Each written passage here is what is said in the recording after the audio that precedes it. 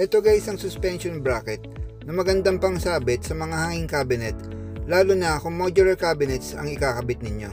May long video na rin ako nito noon kung paano ito ikabit and how this suspension bracket works. So quick review lang tayo about this bracket.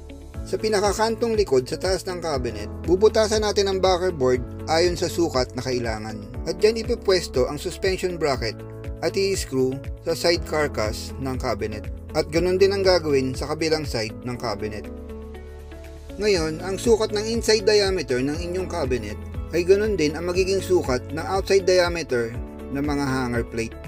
At dyan sa pagsasabitan na yan, tatlong screw ang nilalagay dyan. And then, dyan isasabit ang hook ng suspension bracket. At pag nakasabit na ito, mapapadali na ang pag-align mo ng bawat modules. Dahil may mga micro adjustment ito para maipantay mo yung harap ng bawat modules at para ma-level din ang lahat ng mga ito.